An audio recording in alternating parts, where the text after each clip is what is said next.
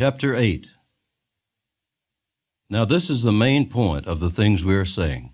We have such a high priest who is seated at the right hand of the throne of the majesty in the heavens, a minister of the sanctuary and of the true tabernacle which the Lord erected, and not man. For every high priest is appointed to offer both gifts and sacrifices. Therefore, it is necessary that this one also have something to offer.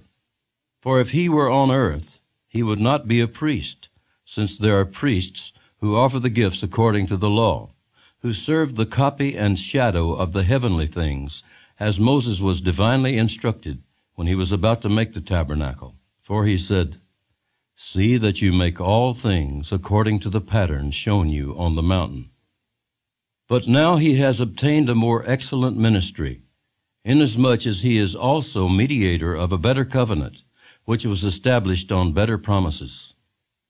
For if that first covenant had been faultless, then no place would have been sought for a second.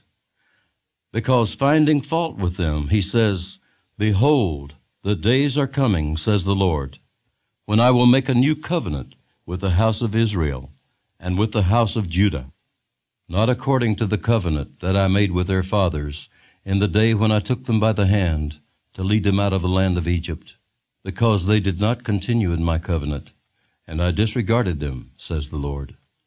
For this is the covenant that I will make with the house of Israel after those days, says the Lord. I will put my laws in their mind and write them on their hearts, and I will be their God, and they shall be my people. None of them shall teach his neighbor, and none his brother, saying, Know the Lord, for all shall know me, from the least of them to the greatest of them. For I will be merciful to their unrighteousness, and their sins and their lawless deeds I will remember no more. In that he says, a new covenant, he has made the first obsolete. Now, what is becoming obsolete and growing old is ready to vanish away.